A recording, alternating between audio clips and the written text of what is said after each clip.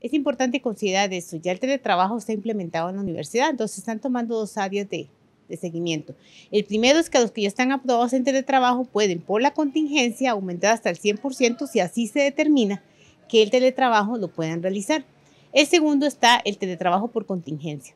Este se acuerda eh, en correspondencia con el superior jerárquico considerando estos aspectos. Primero, que el cargo pueda realizar eh, actividades en su casa, que tenga las condiciones para realizar el teletrabajo en su casa y que no afecte el servicio directamente. Es decir, una persona puede irse entre un día hasta cinco días a la semana según su jornada y lo que acuerde con su superior jerárquico. ¿Qué es lo que estamos tratando de hacer? Que haya menos personas en las unidades dentro de lo posible para evitar los grupos de aglomeración que puedan exponernos al COVID-19. El teletrabajo como tal es una modalidad en la cual la persona realiza su trabajo en la casa. Preguntas que nos han hecho. Por ejemplo, si ya yo estoy en teletrabajo, ¿puedo aumentar mi jornada?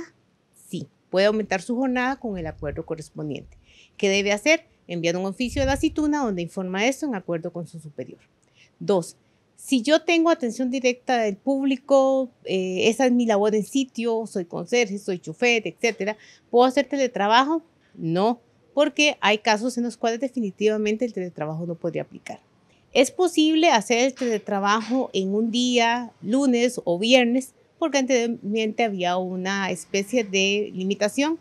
Sí, puede hacerlo también. ¿Solamente aplica el sector administrativo y no el académico?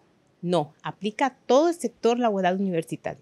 Si un académico ya realiza trabajo en su casa, debe llenar el formulario de trabajo. Si lo quiere hacer por contingencia o lo quiere hacer por el formulario formal, no hay ningún problema.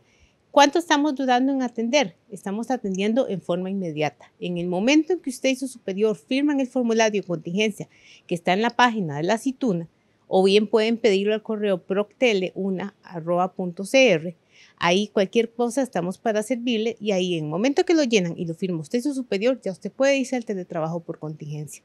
Les instamos a los superiores jerárquicos que por favor analicen y manden todos los que puedan por sus condiciones a ser teletrabajables que lo hagan en su casa, porque lo que estamos tratando es de evitar en lo máximo la aglomeración y la exposición innecesaria a un posible contagio del COVID-19.